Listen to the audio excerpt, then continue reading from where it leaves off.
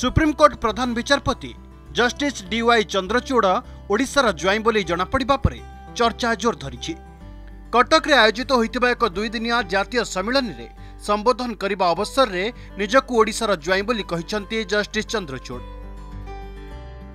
ମୁଖ୍ୟ ବିଚାରପତି କହିଥିଲେ ଯେ ସେ ଓଡ଼ିଶା ଜ୍ୱାଇଁ ହିସାବରେ ଗର୍ବ ଅନୁଭବ କରନ୍ତି ମୁଁ ବହୁ ସମୟରେ କଟକ ଓ ଭୁବନେଶ୍ୱର ଆସେ କାହିଁକି ନା ମୁଁ ଓଡ଼ିଶାର ଜ୍ୱାଇଁ ମୋ ପତ୍ନୀ ଜଣେ ଓଡ଼ିଆ ବୋଲି ସେ ବି ଉଲ୍ଲେଖ କରିଛନ୍ତି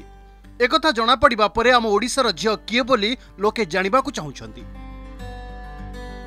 প্রকৃতরে প্রধান বিচারপতি বর্তমান ধর্মপত্নী হচ্ছেন ওড়িশার এবং তাঁক না হচ্ছে কল্পনা দাস